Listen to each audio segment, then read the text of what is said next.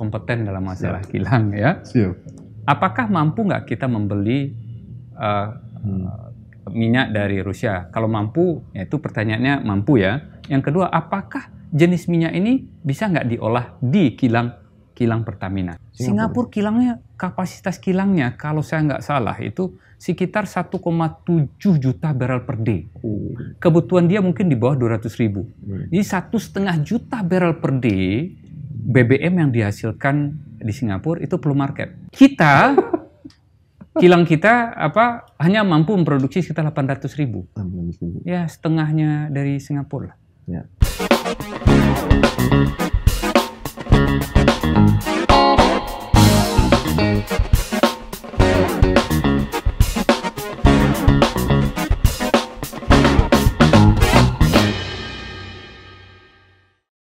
Halo Sobat Bisnis, kembali lagi dengan saya David Eka Budi di podcastnya Bisnis Indonesia seri Pojok Energi atau Jorgi. Em, kali ini saya bersama dengan Bapak Archandra Tahar, em, Wakil Menteri SDM 2016. 16. Tapi periodenya 2014-2019 lah, kira-kira gitu. Lalu Komisaris Utama Pertamina Gas Negara, tetapi biar lebih egaliter, praktisi migas nasional. Kira-kira gitu lah Pak ya. Boleh. Apa kabar Pak? Alhamdulillah baik, terima kasih. Terima kasih Pak, masih dalam eh, nuansa Idul Fitri. Mohon maaf lahir batin Pak. Sama-sama. Eh, mohon maaf kalau WhatsApp saya terlalu sering ke Bapak ya Pak. Ya kan nggak apa-apa. Nggak apa-apa ya. Ya, Pak. Tapi sering nggak dibalas juga Pak. Pak Chandra ini saya mengamati, mungkin Bapak juga aktif bicara ini di kampus, main juga saya perhatikan Bapak ke ITB, terus mungkin di forum-forum diskusi di kelas ataupun di warung kopi gitu Pak. Tetapi situasi energi ini hiruk pikuknya hari ini sepertinya tidak terlalu riuh di dalam, Mhm. tetapi di luar Pak. Mhm. Tetapi kita tahu bahwa energi ini kalau luar ada masalah, dalam juga Mhm. minimal berasap ya. Pak. Mhm. Eh, pandemi WHO sudah memutuskan berakhir pandemi, Pak. Mhm. Tapi konflik Rusia Ukraina berlanjut Mhm. dan banyak efek yang menjelar ke sana tuh, Pak. Mhm. Mungkin pertanyaan awal, Pak. Ini harga batu bara masih Mhm. oke lah ya. Pembatasan eh, produksi minyak sempat membuat naik, tetapi isu Amerika juga membuat harga Hmm. relatif turun gitu, Pak. Hmm. Mungkin gambaran sedikit, Pak. Ini menjelang pertengahan tahun 2023. Kondisi industri energi, eh, mungkin nanti Bapak bisa spesifik ke migas, dunia seperti apa, Pak, kalau kita lihat? Makasih ya. Kalau kita lihat yang dinamakan komoditi, Ya. baik itu minyak Hmm. dan sekarang gas itu dalam bentuk LNG juga bisa dikatakan sebagai komoditi Ya. yang Hmm. bisa diperjualbelikan dalam bentuk kontrak jangka panjang atau kontrak spot. Ya. Nah, kalau yang nama komoditi termasuk di sini batu bara. Ya. Oke. Kalau yang nama komoditi, dan ini selalu saya ulang, yang kita tahu adalah dia akan ada siklus naik dan ada siklus turun. Dia akan naik dan turun. Seolah-olah itu sebuah kepastian ya, dia naik Hmm. dan turun. Hmm. Yang kita tidak tahu Hmm. kapan dia naik dan kapan dia turun, itu yang kita nggak tahu. Oke. Ya, apalagi yang kita nggak tahu Hmm. berapa naiknya Hmm. dan berapa turunnya. Oke. Kita tidak tahu. Nah, dalam rangka mengantisipasi gejolak uh, apa kebutuhan energi dunia Hmm. atau komoditi-komoditi yang berkaitan di sektor energi dan sumber daya mineral, kita harus mempersiapkan diri kapan dia naik dan kapan dia turun. Iya. Itulah tugas terbaik kita Hmm. kalau di sisi dalam negeri, di mana terjadi gejolak naik dan turun, dan kita harus bersiap kalau dia naik atau kalau dia turun, apa yang akan kita kerjakan? Hmm. Mungkin kita lebih fokus ke sana daripada kita timing. Kira-kira naiknya kapan atau kira-kira turunnya kapan? Iya. Atau bahkan orang mengatakan mungkin naiknya cuma sekian, mungkin juga turunnya sekian Hmm. Hmm. sampai hari ini ya perkiraan itu sah-sah saja. Ya. namun demikian akurasinya biasanya Hmm, hmm. apa eh, nggak begitu. Ya. Kenapa? Itulah dunia energi, Hmm. komoditi diperdagangkan, banyak faktor yang menyebabkan perubahan harga dan yang terpenting adalah karena yang berdagang itu kebanyakan para trader. Hmm. Trader itu adalah manusia, dia mempunyai perangkat untuk menganalisa apa yang kejadian Hmm.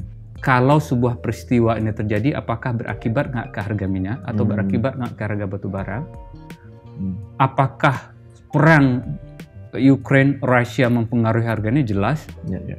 apakah pemilihan presiden di Amerika yang akan datang ini akan mempengaruhi harga energi ya Hmm, hmm. apakah kolapsnya uh, bank di Amerika akan mempengaruhi harga minyak dan harga energi lain iya apakah uh, apa Cina sudah kembali normal dalam aktivitas kegiatan ekonomi Ekonomi. mereka akan mempengaruhi harga iya semua Ya.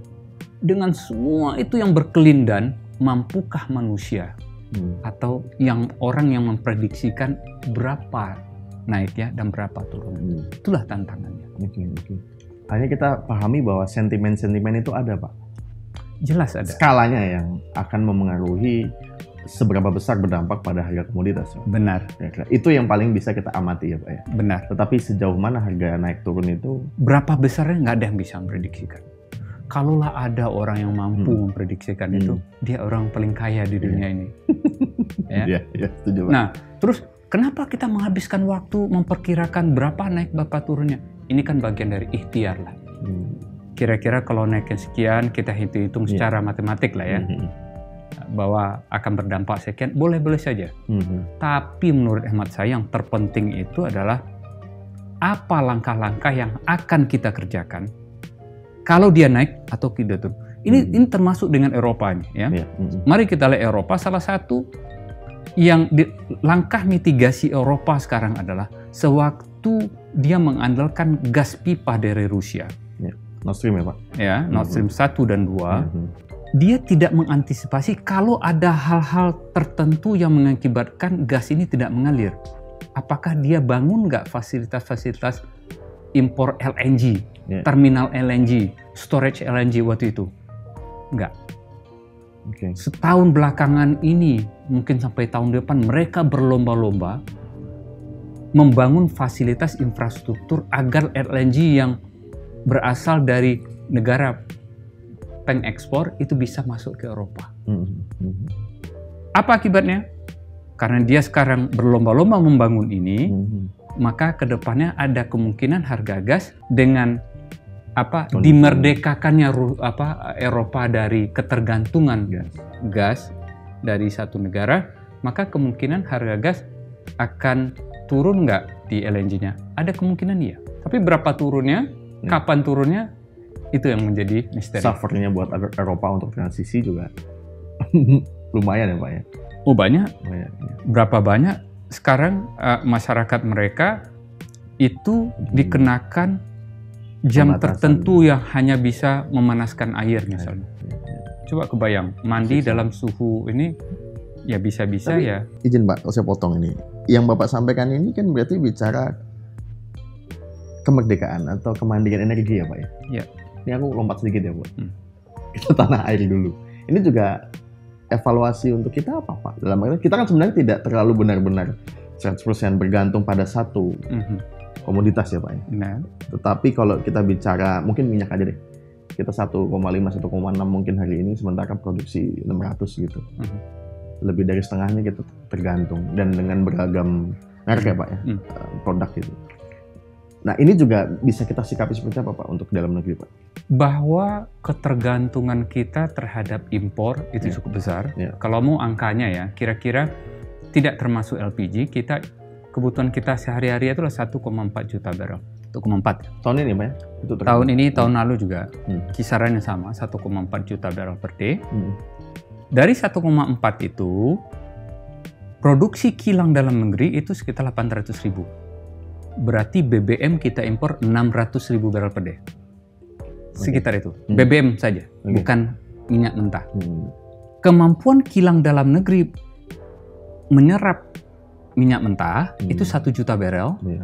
menghasilkan BBM sekitar 800 ribu. Ya. Jadi satu juta nggak menghasilkan satu juta, menghasilkan 800 ribu. Sisanya turunan yang lain ya Pak. Turunan-turunan yang Hmm. lain yang Hmm. bermanfaat. Ya. Dari satu juta ini, kemampuan produksi minyak mentah di dalam negeri itu sekitar 600 ribu sampai 700 ribu. Hmm. Tapi dari 600-700 ribu belum tentu itu semua milik negara. Ya. Sebagian itulah milik kontraktor Kontraktor. yang mengerjakan pengelolaan migas Ya, tersebut. ya. Hmm. Taruhlah kalau seandainya 600-700 ribu itu digunakan atau dijual ke dalam negeri semua, sementara kemampuan kilang menyerap 1 juta berarti ada 300 Ya. ribu yang harus impor. Nah kira-kira impor kita itu kira-kira ya 600 ribu BBM, 300 ribu Minyak barrel mentah. per day adalah minyak mentah. Jadi sekitar 900 ribu barrel per day. Hmm. Coba bayangkan lebih banyak impor kita daripada yang kita hasilkan di dalam negeri. Hmm, hmm, hmm. Kalau begitu, kita sangat bergantung nggak ketahanan energi kita Hmm. terhadap apa yang terjadi di luar sana? Sangat, Hmm. sangat. Tapi untungnya kan kita tidak eh, sorry Pak, misalnya 300 ribu ini satu negara atau Enggak, ada beberapa pas masuk. Begitu juga BBM-nya kan Pak? ya? benar. Kalau BBM umumnya itu di uh, market-market Timur Tengah Pak. uh, energi, misalnya Oh, diperdagangkan di Singapura. Singapura Hmm. punya Means of Plate Singapore Ya. misalnya, atau Hmm. Argus. Hmm. Dan itulah uh, dagang BBM di sana. Yang diperdagangkan yang mana? Hmm. RON 92. Ya. Ya, Pertalite itu tidak diperdagangkan di dunia. Oke. Yang diperdagangkan adalah RON 92. Ya. Kalau di sini mungkin Pertamax sekali. Ya. Hmm. Itu yang diperdagangkan. Hmm. Nah, bagaimana menjadi Pertalite? Dia dicampur mungkin dengan nafta Ya. untuk menurunkan oktannya. Yes. Oke Pak. Hmm. Hmm. Sementara kalau yang minyak mentah kita dari Timur Tengah ya Pak ya? Minyak mentah ada yang kita uh, bisa dari Timur Tengah, tergantung kilang kita. Nah, ini kita Ah, ya, ya, filosofi rumah makan Padang sedikit ya. ya. Oke oke. oke. ya. Kalau kita bikin rumah makan Padang, Ya. maka dapurnya itu kira-kira mengikuti uh, apa uh, rempah-rempah yang berasal dari untuk membuat masakan Padang. Hmm, hmm, Nah, rempah-rempahnya itulah kira-kira minyak mentahnya. hmm. Nah, kalau kita restoran Padang ini yang yang apa yang dapurnya itu khusus untuk masak masakan Padang, tiba-tiba rempah-rempah yang tersedia adalah yang berkaitan dengan masakan Jepang. Bisa nggak restoran Padang memasak masakan Jepang? Bisa, tapi nggak efisien. Ya, ya. Gitu juga kilang kita. Kilang-kilang kita itu uh, sudah apa didesain dulunya hanya bisa menerima Hmm. jenis minyak mentah seperti apa. Ini aku meloncat lagi Pak. Iya. Ini kan teknis sekali Pak. Tetapi mungkin penontonku perlu tahu nih Pak. Hmm. Minyak kan tidak dibedakan dari cabai rawit atau cabai merah gitu ya. Tidak Ya. sesederhana itu ya Pak ya. Iya. Tetapi kalau misalkan kemarin juga belum lama ini katanya kita mau beli tuh dari Rusia. Mm-mm. Sementara yang saya tahu sendiri kalau misalkan dari Rusia itu jenisnya apa. Mm-mm. Sementara mungkin minyak di tanah air juga beda-beda kan Pak Benar. jenisnya. Nah, eh, apa alasan selain eh, demand atau kebutuhannya datang dari satu negara dan masalah harga Pak? Mm. Khususnya konteks Rusia kemarin kenapa kita tidak ambil dengan harga murah gitu? Minyak itu seperti manusia. Oke. Dia punya ciri khas sendiri kalau kita punya fingerprint, apa? Ya, uh, ya, ya. sidik jari. Sidik jari. Minyak juga punya sidik jarinya, Hmm. ya. Nah, kalau dia masuk minyak ini ke kilang yang didesain bukan untuk dia, Ya. Dia bisa menghasilkan turunannya BBM, perta, Hmm. apa Pertalite, premium, solar dan lain-lain. Tapi Ya. tidak seefisien kalau menggunakan minyak mentah yang sesuai dengan spesifikasinya Oke. dia. Seperti tadi, Nah. restoran Padang kalau bisa bikin rendang ya berasal dari sapi, cabai dan lain-lain. Hmm. Tapi masuk yang namanya daging wagyu dari dari Jepang Wah, gitu kan, dimasukkan rendang bisa tapi mahal. Hmm. Itulah kira-kira. Oke Pak. Tapi kalau Rusia sendiri Pak ini jenis apa sih Pak minyaknya kalau? Kalau Rusia namanya itu. Ural ya jenisnya itu. Ah. Nah, pertanyaannya adalah silahkan nanti ditanyakan ke apa yang berkompeten dalam masalah Siap. kilang ya. Siap. Apakah mampu nggak kita membeli eh, Hmm. Minyak dari Rusia? Kalau mampu, ya itu pertanyaannya mampu ya. Yang kedua, apakah jenis minyak ini bisa nggak diolah di kilang kilang Pertamina? Ural ini wagyu Pak. Ah, mungkin kira-kira ya nanti dipertanya ditanyakan lah. ya di bawahnya lagi dikit kan.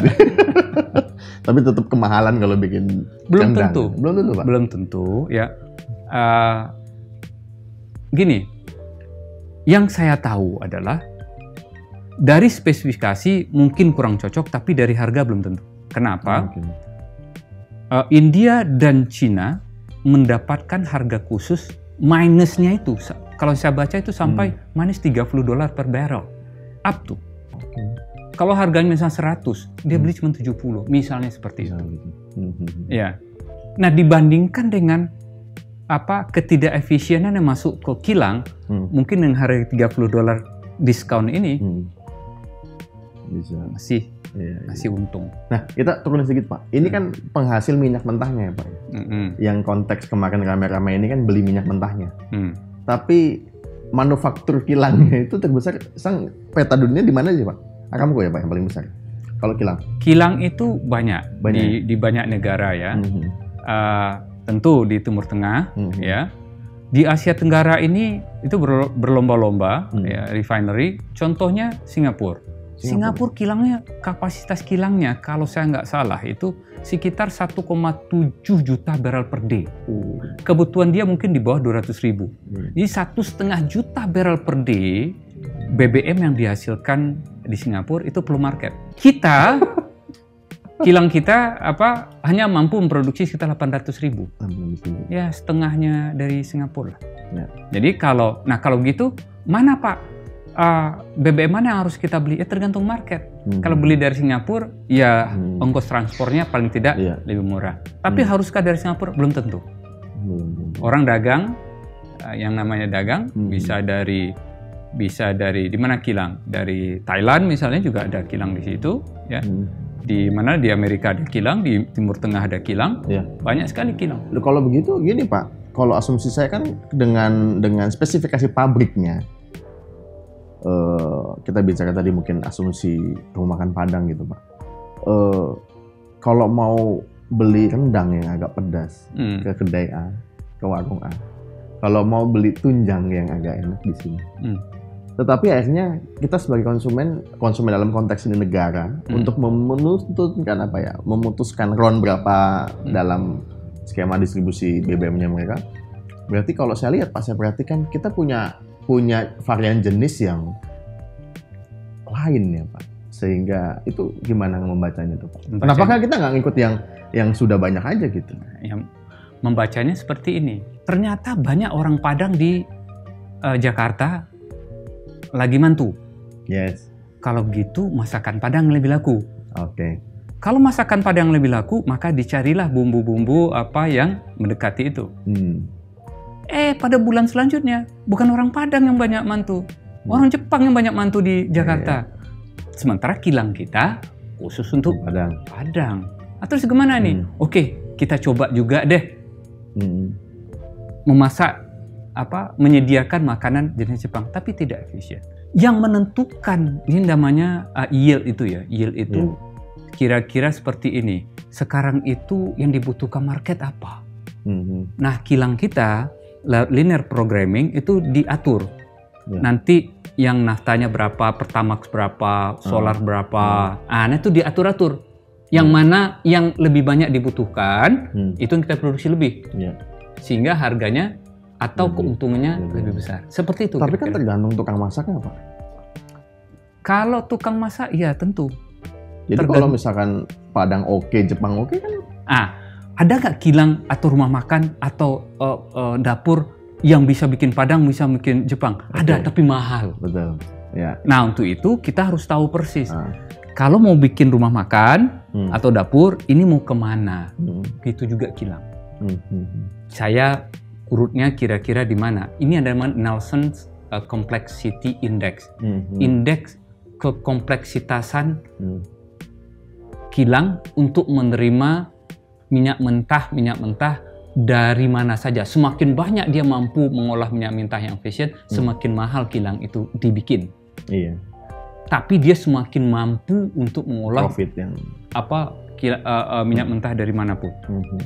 Tapi kalau kita sudah tahu, saya nanti akan bekerja sama dengan uh, apa uh, minyak mentah jenis ini, jadi saya nggak perlu membuat uh, indeks kompleksitasnya yang yang yang lebar, Yang lebar. yang segini aja dan lebih murah. Ya. Jadi ada yang kalau membangun uh, capital expenditure-nya, biaya capitalnya itu ada yang segini dengan kapasitas yang sama, ada yang segini Hmm. untuk kapasitas yang sama. Tergantung teknologinya, tergantung tadi. Ini jenis Hmm. kilangnya adalah bisa memasak dua masakan sekaligus, Jepang dan Padang. Tapi kilangnya enggak, saya khusus hanya masakan Padangnya. Nah, dia lebih murah. Gini. Mhm. Tentu dengan perhitungan di wilayah situ orang Padang semua. Ya, Suka. Iya kan ya Pak? Dengan pakai kebutuhannya kebutuhan adalah itu. iya. Hmm, Oke oke. Nah, kalau kita di Indonesia, apa yang kita butuh? Yang banyak. Mungkin ya, Pertalite, Pertamax, Hmm. ya. Pertalite Pak. Ya, Di situ aja. Aftur bagaimana? Solar bagaimana? Ya. Kalau nggak banyak industri menggunakan solar, Iya. tidak banyak kapal di situ, Iya. maka oh, lebih baik kalau gitu saya Hmm. nggak akan memproduksi banyak-banyak aftur atau Hmm. banyak solar. Oke. Tapi di negara lain yang membutuhkan Amerika misalnya ya, Iya. Yang penerbangannya wah besar sekali, Hmm. mungkin dia lihat saya mungkin akan memproduksi lebih banyak aftur. Itu variabelnya geografis juga nggak Pak? Kebutuhan pasar. Kalau kita, kalau kan kalau misalkan harga after kan di setiap tempat beda Pak, menyesuaikan jarak dengan lalu posisi terminal gitu. Ini kita bicara secara internasional atau bicara di dalam negeri. Oh, Oke, iya, iya. Kalau internasional market market ya market. Orang dagang ya dagang. Hmm. Dagang apa? Hari ini dia dagang, Hmm. dagang aftur ya sekian harga aftur. Hmm. Tidak tergantung nanti si pembeli yang menyalurkan ke Hmm, konsumennya Hmm. baru ditambahin Iya. ongkos penyaluran, Hmm. ongkos penyimpanan, Hmm. semakin jauh uh, penyalurannya Hmm. semakin mahal. Hmm. Ya, itu. Tapi harga marketnya nggak Hmm. nggak termasuk itu. Oke, kira-kira gitu, sobat bisnis. Soal kenapa nggak beli minyak dari Rusia? Tetapi penjelasannya nggak sederhana, Pak ya. Jadi kalau kalau kita melihat itu kenapa nggak kita beli, itu juga pertanyaan kemarin kalau nggak salah di di rapat Komisi 7 kenapa nggak kita beli itu. Sehingga mungkin saya pikir ada jawaban yang apa itu sih pertanyaan Pak? Beli minyak tuh kayak beli cabai nggak sih Pak? Maksud saya ya antara pem- saya sama Bapak aja udah. Atau ada variabel eh, supply, supply chain. Tadi kalau dari secara teknis kita udah dapat tuh. Tetapi dari apa ya? Sorry, politik gitu, Pak. Yang mempengaruhi salah satu yang mempengaruhi uh, harga komoditi itu adalah geopolitik dunia. Oke. Ya, Hmm. bisa jadi karena uh, tekanan dari uh, suatu negara Hmm. agar kita tidak mendukung atau uh, apa uh, ada satu negara diterapkan sanksinya Hmm. Sanksi ekonomi atau sanksi Mungkin dalam ini Rusia ya, Pak. Kita uh, lihat ya, Pak ya. ya kemudian mungkin ya negara lain yang menerapkan sanksi itu melihat apakah kita mensupport itu apa tidak Oke. ya misalnya Cina dan India mengatakan saya butuh ini minyak Hmm. kalau nggak rakyat saya ini mendapatkan harga yang tinggi nggak mampu mereka Hmm. misalnya Hmm. apa pun kejadian saya beli nah bagaimana kita di Indonesia tentu pemerintah uh, tahu persis apa yang kejadian Hmm. dan bagaimana seharusnya bertindak Ya. ya Uh, memang ada kebutuhan memang harganya lebih murah ya.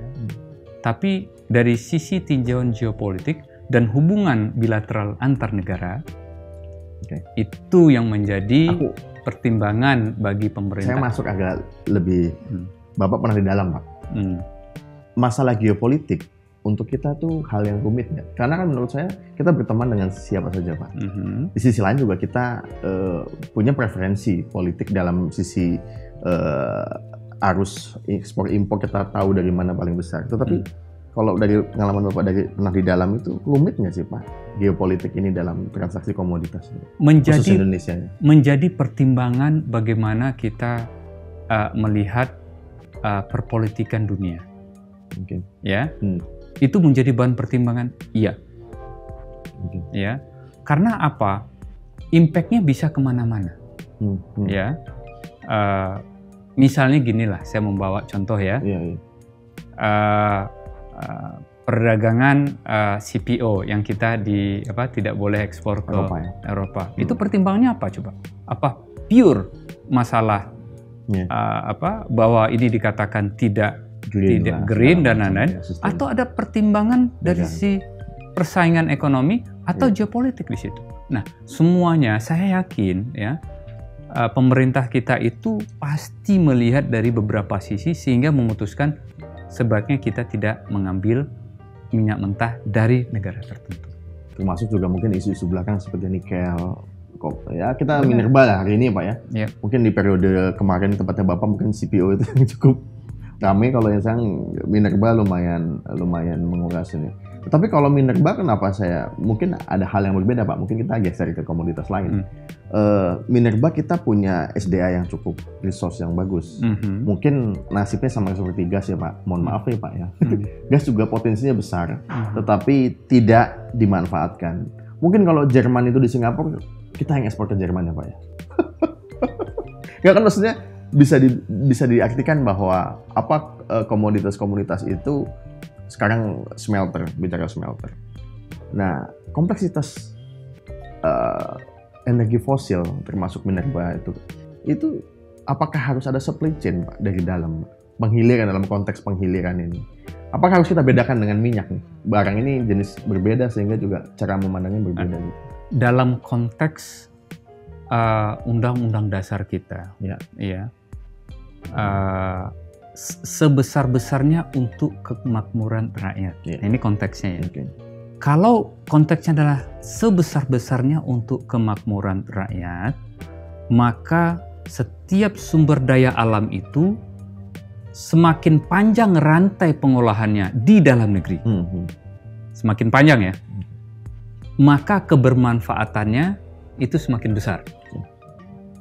Dan untuk itu, mau itu adalah oil, diolah menjadi misalnya gas ya, diolah tidak saja LNG, tapi diolah dalam bentuk apa pupuk petrokimikal itu rantainya udah panjang. Hmm.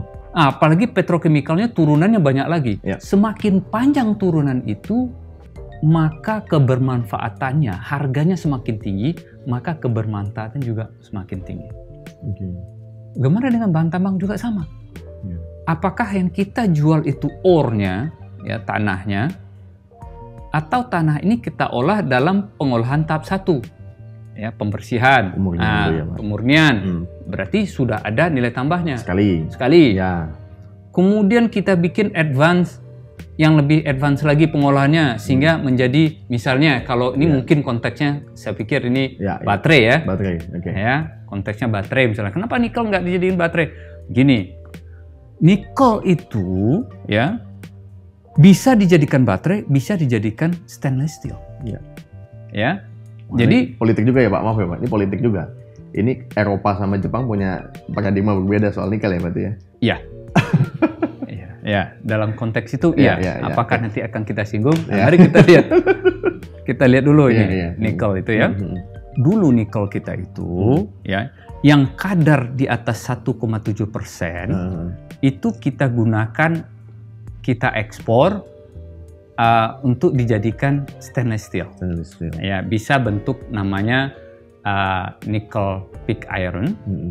ya NPI atau bisa juga dalam bentuk apalagi yang yang apa yang bentuk kadar kadarnya yang lebih rendah lagi Hmm, ya hmm, hmm. setelah kita uh, apa melihat potensi ke depan itu ada baterai di mana nikel adalah bahan yang mempunyai density atau dia sangat efisien bukan sangat efisien yang lebih efisien sekarang dalam rangka membuat baterai. Hmm, hmm. ya. Maka apakah sama smelter untuk uh, apa Stainless steel. stainless steel, uh, dibandingkan dengan untuk uh, baterai? Beda jauh nah ini perumpamaan yang saya bilang ya Hmm. dulu kita smelter-smelter dalam negeri itu ibaratnya membangun jalan kereta dari Jakarta Surabaya Hmm. Hmm. itulah smelter-smelter kita menghasilkan ni- NPI nickel pig iron atau ferronickel Ya. ferronickel yang nikelnya lebih tinggi nickel pig iron yang nikelnya lebih rendah Sorry Pak, ini saya jelas. Ini ujungnya hilirnya adalah otomotif ya Pak ya? Paling masif ya? bukan otomotif Bukan otomotif. itu bisa ke engine Oh, bisa mesinnya ke ya. pesawat boiler dan segala macam tuh, Pak. boiler dan lain-lain Oke. Hmm. ya Hmm. stainless steel yang paling gampang stainless steel itu yang kadar rendah itu untuk sendok garpu itu Sendok stainless garpu. steel Hmm. ya maka dulu kita ibaratnya itu jalan keretanya itu adalah Jakarta Surabaya Hmm. tiba-tiba membutuhkan nikel untuk eh, apa untuk baterai. Bisa nggak jalan Jakarta, rel Jakarta Surabaya ini untuk memproduksikan nikel untuk baterai? Tidak bisa. Hmm. Maka harus dibikin jalan kereta baru yang totally different, yang yang beda sama sekali, Jakarta Aceh. Oke. Ternyata Jakarta Aceh itu apa uh, uh, challenge-nya, apa tantangan terbesarnya ada Selat Sunda. Hmm. Di Lampung belum lagi Di ketemu. Lam- ah ya. ya. Ya, Pak. Nah, inilah tantangan pemerintah. Bagaimana caranya kalau kita mengolah nikel ini untuk baterai, maka harus dibikinkan jalan kereta yang berbeda. Tidak Hari ini bisa. apa, Ini Pak? dalam rangka untuk itu Iya. sudah mulai sekarang membangun jalan kereta Hmm. yang dari Jakarta ke Aceh. Membangun jalan kereta Jakarta Surabaya, Pak, itu Hmm. zaman company. Hmm. Kita man- main- kita rasakan hari ini. Hmm. Maksud saya adalah proses pengorbanannya itu luar biasa ketika jalan itu dibangun. Hmm. Apalagi nih sampai Aceh, Pak. Ya. Mungkin yang menikmati keturunan saya juga belum tentu ya, Pak ya. Tantangannya di dalam membangun apa uh, uh, plan ya, bukan smelter ya. Kalau untuk baterai itu kita nggak bisa mengatakan smelter karena dia uh, bukan melelehkan smelt ya. Hmm. Tapi ini kebanyakan salah satu yang yang yang apa yang teknologi yang ada itu menggunakan chemical, reaksi chemical. Oke. Maka disebut plant Hmm. ya, Hmm. pabrik lah kira-kira yang Lebih manufacturing lah ya, Pak. ya. manufacturing ya. Hmm. Dan teknologi ini sangat susah dan keberhasilannya juga sedikit Hmm. ya. Dari dunia yang membangun pernah Australia membangun berhasil gagal. Hmm. Di negara lain bangun untuk menjadikan nah proses kira-kira begini ya. Ya, ya. dari nickel menjadi MSP, MHP itu yang tingkat satu, MSC mix hydroxide uh, precipitate atau MSP yang agak technical sedikit. Ya, ya, ya. Kemudian yang advance-nya nikelnya tuh menjadi nickel sulfat, cobalt sulfat. Iya. Itu kira-kira yang kedua. Hmm. Proses yang selanjutnya adalah menjadikan katoda. Setelah menjadi katoda baru menjadi baterai. Hmm. Saya saya langsung membayangkan statement Bapak ini berarti kita punya tanah itu, Pak. Hah? belum menjanjikan betul atau hari ini kan kita risau dengan statement atau harapan Elon Musk untuk datang ya Pak? Mhm. atau investor lainnya dalam ekosistem kendaraan listrik. Itu karena mereka juga melihat betul karena kita masih jauh dari minimal manufacturing itu. Ini agak sensitif ini. yang tidak sensitif Pak. Yang tidak sensitif aja Pak. Nggak maksudnya saya membayangkan itu karena kan eh, ketika hari ini hari ini eh, hal itu terjadi em, apakah mudah karena kalau manufaktur manufacturingnya baja dengan tekstil itu pun berbeda pak iya. pindah lokasi pun gampang kalau tekstil pak tidak dengan steel Mhm. Nah, sehingga apakah kalau saya membayangkan kendaraan listrik baterai itu sama seperti baja atau sesederhana bikin HP yang di Batam itu, Pak? Maksud Nah. saya ekosistemnya itu. ekosistemnya berbeda ya. Nah, mari kita lihat dulu. Eh, saya belum pernah ketemu Elon Musk ya. Tapi Makan kopi kok udah, Pak? tapi kira-kira membaca beginilah ya. Ya. Perumpamaannya gini. Kalau di Amerika itu eh, setiap kota itu punya tema tersendiri dalam Hmm. apa mengelola investasi. Hmm. Kalau kita melihat eh, kota Houston di Texas, Ya. itu temanya adalah oil and gas. Nah, Pusat apa minyak dan segala turunannya itu ada di, di pusat kebudayaannya. Ya. Hmm. Kalau kita bicara tentang financial, itu New York. Ya. Beda kota bukan di Houston. Nah, gitu.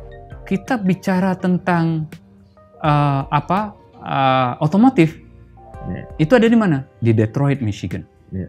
Kalau kita bicara IT dan turunannya, ada di mana? California di Silicon Valley. Silicon Valley ya. Ya. Coba, apakah eh, Tesla ini industri otomotif atau industri IT? Lihat cara berpikirnya Elon Musk. Dia tidak menempatkan pabriknya di ekosistem otomotif di Detroit. GM di sana, Ford di sana, Chrysler di sana. Hmm. Perkembangan otomotif Amerika itu adanya di kota Detroit. Tapi Elon tidak menempatkan Tesla itu di. Detroit. Di mana dia tempatkan ini? Silicon Valley. Artinya apa? Yang dia pikir adalah Tesla itu adalah industri IT. Nah, kemudian mari kita lihat kalau dia berpikir ini adalah industri IT, Hmm. negara mana atau kota mana yang kira-kira dia akan berinvestasi. Hmm, hmm, hmm, hmm. Oke. Kemungkinan besar dia akan cari kota-kota yang punya ekosistem IT-nya yang kuat, India kita dengar pak. Bangalore. Hmm. Maka dia ke sana. Hmm, hmm, Nah, kita harus baca lagi hmm. Tesla ini perusahaan apa sih? Hmm. Ya. Nah, mungkin kita bicara nanti. Tapi pak, sorry, untuk nikel Ya. selain stainless steel dan untuk baterai ini, apa lagi pak? Apa eh, turunannya? Dia bisa ngapain aja? Eh, Kalau kita bicara Tesla ya pak, mungkin dia tidak ingin untuk Teslanya, tapi untuk yang lain gitu maksud saya. kalau kalau ni- nikel, nikel sama kobalt ya. Ya. Jadi dia dia bersatu di situ. Yang yang jenis nikel kita di Indonesia itu ada nikel dan ada kobaltnya. Hmm, hmm. Memang dulu kebanyakan untuk stainless steel. Baja tahan karat. Hmm. Maka kita ekspor dulu ke Jepang. Kalau pernah Hmm. ke Jepang lihat di Tokyo itu banyak banyak sekali gedung-gedung atau eh, apa eh, infrastruktur itu yang dilapisi oleh apa? Stainless steel. Jadi anti karat. Di baja di baja ringan juga ada kandungan stainless steel ya? Di mana? Baja ringan itu. Di baja ya tergantung nanti baja ringannya apa ya. yang Tapi untuk bangunan sekarang hari ini? saya nggak yakin baja ringan itu stainless steel apa tidak ya. Ya, ya. Saya nggak nggak nggak ini. Hmm. Tapi intinya yang jenis kadar rendah itu kadar rendah adalah yang paling gampang sendok lah. Sendok yang kita makan itu, itu stainless steel. Ya, ya, ya. Block engine itu juga ada nikelnya. Nah, ada lagi yang penting. LNG uh, storage-nya bahannya Ya, ya, ya. itu stainless steel. kapal pak? Kapalnya. Kapal Ada juga untuk kandungan ini. ada Hmm. stainless steel-nya. Hmm, hmm, hmm. Jadi banyak penggunaan stainless steel itu banyak sekali turunannya. Hmm, hmm, Tapi yang untuk kelistrikan, untuk baterai hmm. harus dibikinkan plan khusus. Selain khusus. Jalur kereta Jakarta Aceh. Aceh. Lewat Lampung dulu.